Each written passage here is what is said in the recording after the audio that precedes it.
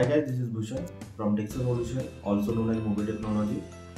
so, uh, आज मैं आपको इलेक्ट्रिकल uh, बेस्ड एक प्रोजेक्ट दिखाने जा रहा हूँ that is parallel load shedding of the transformer तो कैसे एक जब लोड भी बढ़ता है ट्रांसफॉर्मर के ऊपर तो कैसे वो पैरेलली लोड शिफ्ट करेगा ऑटोमेटिकली यही हम इस प्रोजेक्ट के द्वारा दिखाने जा रहे हैं। साथ में हम इसको आईओटी मॉडल थ्रू इसको फेच कर रहे हैं। तो जो भी इंफॉर्मेशन यहाँ पे होगी वो हम कंट्रोल रूम से मॉनिटर भी कर सकते हैं, ठीक है?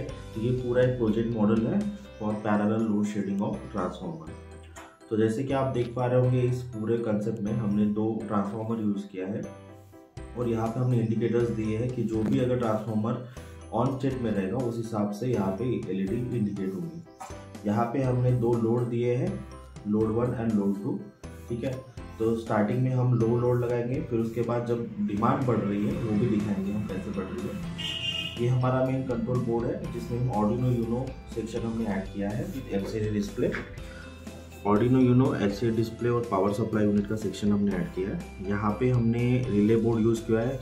एक रिले बोर्ड जो है, यहाँ पे दो रिले है, एक बोर्ड के अंदर। तो ये जनरली है ट्रांसफॉर्मर के लिए। और जो यहाँ पे भी हमने रिले बोर्ड यूज़ किया है। दो तो ये जनरली है जो लोड लगा है आउटपुट में उसके लिए। ये है एक्चुअली ऑडियो मॉडल जिससे हम पूरी इंफॉर्मेशन मॉनिटर कर रहे हैं वायरलेसली कंट्रोल रूम से। ठीक है तो ये पूरा ऐसा, ये पूरा प्रोजेक्ट है। जिसमें करंट सेंसर भी हमने यूज़ किया है करंट वोल्टेज दोनों की वैल्यू हमको यहाँ पे मिलने वाली है।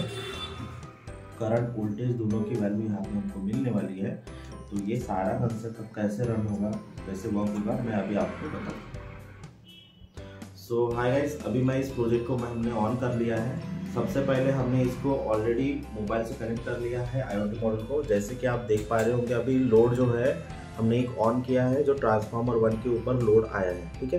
तो यहाँ पे लिख के भी आएगा कि कितना, जैसे करंट वैल्यू है वो और लोड कौन से ट्रांसफार्मर पे है। So load on transformer one और कितनी करंट वैल्यू हो रही है, ठीक है? तो अभी हम क्या करेंगे, हम लोड को बढ़ाएँगे।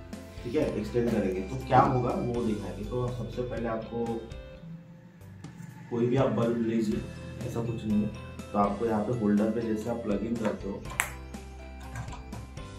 ठीक है? तो जैसे आप इसको प्लग इन कर रहे हो तो सेकंड जो ट्रांसफार्मर है, वो ऑन हो जाएगा और करंट की वैल्यूज़ भी है, वो बढ़ जाएगी, ठीक है? तो जैसे कि आप अभी देख पा रहे होंगे, यहाँ पे तो यहाँ पे लोड जो है ट्रांसफार्मर वन और ट्रांसफार्मर टू के ऊपर बढ़ गया है और करंट की वैल्यूज़ भी बढ़ गई है, ठीक है?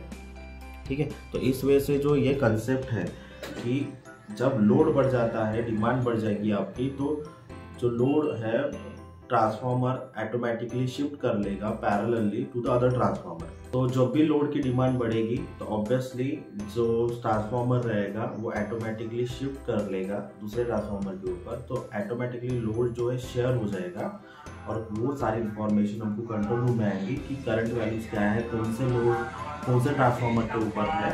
ये सारी चीज़ें उसी के अंदर होगी। और इस वजह से जो ट्रांसफार्मर है, वो बर्न नहीं होगा, ठीक है? और उसमें कोई भी ऐसे कुछ डिफ़ॉल्ट मतलब जो भी बर्निंग होती है या डिस्ट्रॉय होता है, वो सारी चीज़ें इसमें नहीं होंगी ट्रांसफॉर्मर में प्रोटेक्ट रहेगा सेफ्टी रहेगी। इस वजह से ये पूरा जो प्रोजेक्ट है parallel load sharing of transformer using the IoT ये वर्क होगा।